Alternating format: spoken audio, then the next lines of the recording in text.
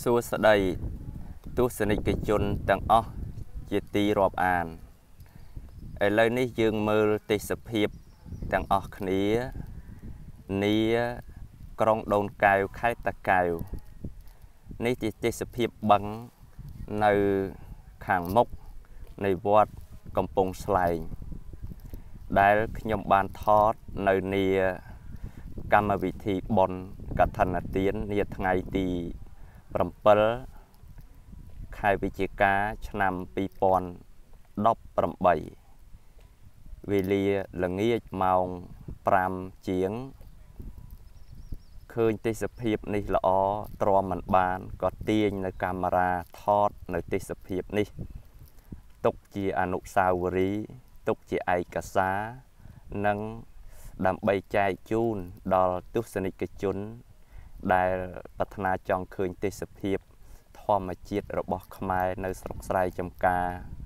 មានតាំងពីទូកមានផលបលាអាយ៉យនិងព្រមទាំងទេសភាពល្អល្អនៅបឹងនេះនឹងយើងឃើញទេសភាពស្រុកស្រែចំការនៃប្រទេសកម្ពុជាយើងព្រមទាំងមានខ្យល់បក់មករំភើយរំភើយបន្តិចបន្តិចធ្វើឲ្យចង់ឲ្យងុយគេង ហ្នឹងហើយពេលថតរួចរាល់ហើយ អង្គុយស្រូបយកខ្យល់ធម្មជាតិបន្តិចនិងបន្តដំណើរទៅទីក្រុងភ្នំពេញវិញ នៅពេលល្ងាចនេះ ដូច្នេះសូមទស្សនិកជន បើមានពេលទំនេរអញ្ជើញមកទស្សនានៅនឹងវត្តកំពង់ស្លែងនៅខាងមុខហ្នឹងក៏បានប៉ុន្តែទឹកនេះអាចនឹងស្រក់ទៅវិញ នៅកំឡុងប្រហែលជាខែ 3ខែ4គៀកចូលឆ្នាំខ្មែរយើងនឹងឯងហើយខាងនេះទេសភាព មានដើមថ្នោតអីហ្នឹងគឺជាទេសភាពដែលមុខវត្តកំពង់ស្លែងនឹងផងដែរមានតាំងពីគោមានតាំងពីសัตว์តូចតាចជាច្រើនទៀតបានហើទៅអស់ហើយហើយថ្ងៃក៏ជ្រេចិត្តនឹងលិចបាត់ទៅដែរ ខ្ញុំឆ្លៀតពេលនេះក៏ថតបង្វិលមើលឲ្យបានស្គាល់ទាំងអស់គ្នាទេសភាពស្រុកខ្មែរជាពិសេសទស្សនិកជនដែលនៅឯបរទេសដែលឃ្លាតឆ្ងាយពីស្រុកកំណើតយូរហើយ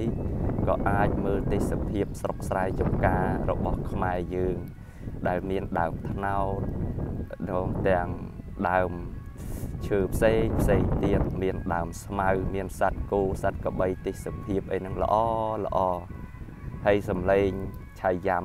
ដែលគេកំពុងតែបន្លឺនងឯងគឺជាពិធីហែកម្មវិធីបុណ្យកឋិន